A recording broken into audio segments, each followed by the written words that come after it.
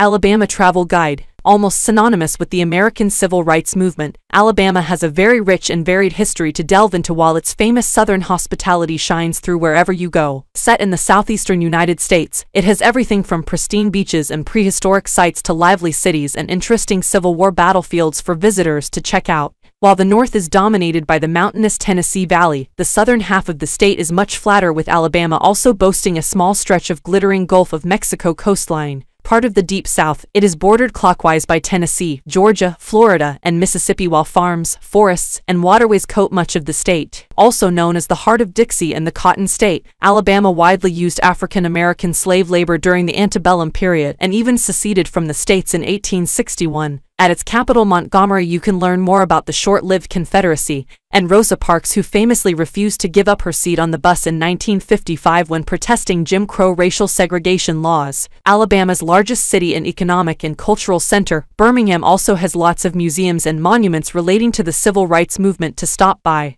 Besides this, it has a vibrant arts and culture scene with pretty parks and rusting industrial sites also dotted about. While many head to Mobile for its amazing antebellum architecture and delightful historic districts, Huntsville also attracts heaps of tourists thanks to its association with the U.S. space program while delicious food can be enjoyed wherever you go. Away from its cities, Alabama has the gorgeous Gulf shores and Orange Beach for you to relax on while both Russell Cave and the Trail of Tears highlight the history of the state's Native Americans. Finally, thanks for watching this video, see you again next time.